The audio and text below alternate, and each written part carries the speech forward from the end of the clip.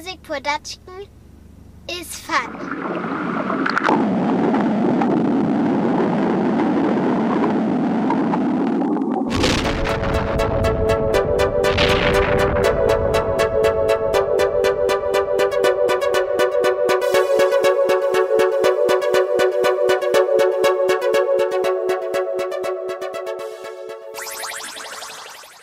Hi everyone, I'm Eyal Adler from Munich, Germany, and I would like to teach you today week one at the course Introduction to Music Production at Coursera.org. I will be teaching you today this course is a typical recording of a signal flow and I will use my gear at my home studio. Okay, let's look now into the elements in the home recording studio.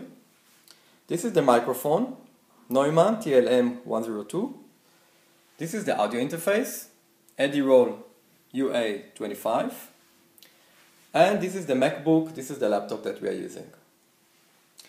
We're using two cables here for this setup. First of all, it's an XLR cable that connecting between the microphone and the audio interface. And we have a USB cable that connecting the audio interface and the laptop. Let's now describe the signal flow first in recording session and afterward in the playback session. So in the recording session, we will have a singer that put his voice into a microphone. We will have pressure of air going to the microphone, becoming an analog sound, voltage information, which are going via the XLR cable into the audio interface. There we will have first of all to amplify the sound to have it louder and then to convert the sound from analog information to digital information.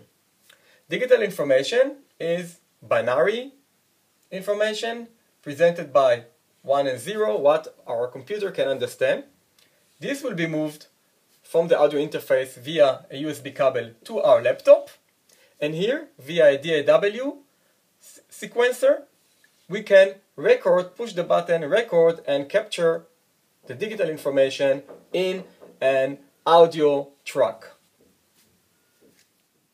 Okay, let's see now the signal flow via the playback. So we would like to play what we record. We will push the button play. The signal this time will go this direction. So the digital information, the binary information, will go this time from the sequencer from the computer to our audio interface. Here it will be converted this time the opposite from digital to audio and the audio information we can listen to them via line out because we need the information to go out and we can monitor or by headphones or by any kind of monitors, loudspeakers.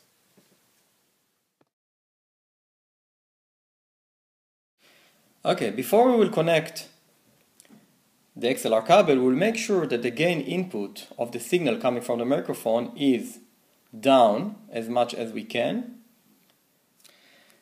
Due to the fact that we are using a condenser microphone in our setup, we'll make sure that the phantom power, this is the function that amplifying the signal from the microphone, we'll make sure that it switch off before reconnecting the cable.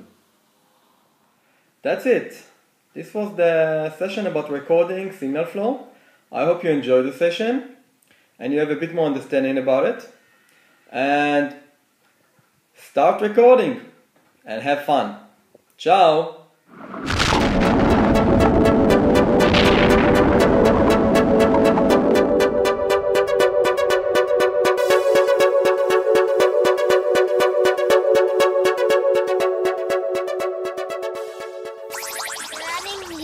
Learning music production is fun.